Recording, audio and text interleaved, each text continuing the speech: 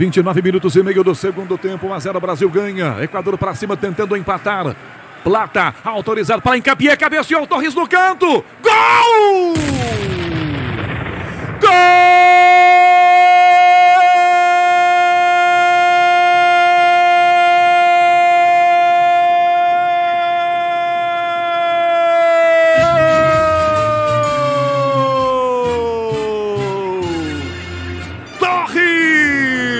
Na primeira trave ele sobe bem.